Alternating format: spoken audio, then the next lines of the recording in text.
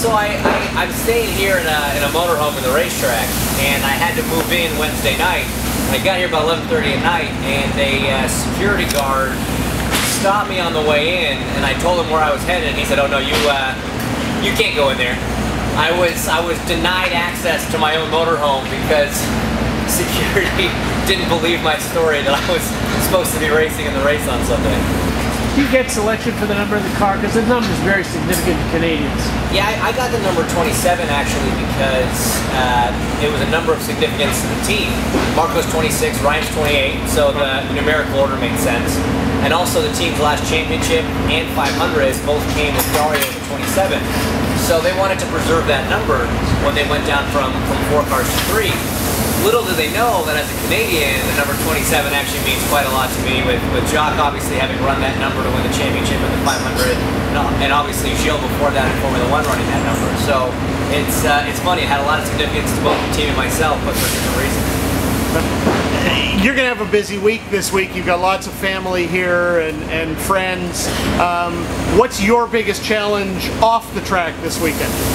I, I, think my biggest challenge off the track is staying safe. it's, uh, it's a very busy week for me. Uh, you know, a lot of extra media attention and commitments and requests, and, and one of the biggest challenges really is balancing your time. And unfortunately, you can't say yes to everything and everyone. And you've got to you've got to remember that at the end of the day, I'm still here to, to get into this thing and, and do my job behind the wheel. So that's a that's a very delicate balancing act for sure. And the biggest challenge once you're in it this weekend? The biggest challenge on the track is not hitting anything. I don't know. I don't know if you guys have been around this track before, but it's uh, it's a very bumpy track. There are a lot of different surface changes, which is a huge challenge for us. Some very high speed sections, like the 9, 10, 11 section.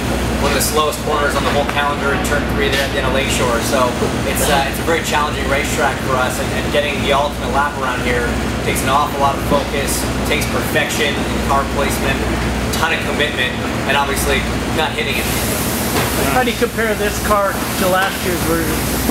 This year's car is, is very different. You know, obviously we've gone from a uh, naturally aspirated V8 engine to a turbocharged six-cylinder. The, the, new chassis has a lot more downforce, has carbon brakes, and, and the general balance was quite different. So it actually took a change in driving style for myself to, to sort of get up to speed in this car. But the more I drove it and, and the more that, you know, the engineers at Andretti Autosport had to play with it and sort of tune it to our liking, the more I like it. So uh, we're getting along all right right now and, and hopefully we can pull off a good one this weekend. Hinch for homepage versus uh, versus Danica. How's it going? The Hinch for Homepage campaign is in full swing, yeah, but I'll tell you what, man, it's it's tough to go up against somebody like Danica Patrick. She's uh, she's kind of a big deal in the world of motorsport and in the world of sport in general. Yeah. So when you're trying to compete against something like that, you got to pull out all the stops. So we've, we've done some clever campaigning so far, but we're still a little bit behind the polls. Maybe uh, maybe a successful weekend here in the hometown will help boost our numbers. Nice. Um, why don't we go for a quick tour of the trailer? Okay. Yeah. Cool. Show you guys around uh, around the trailer.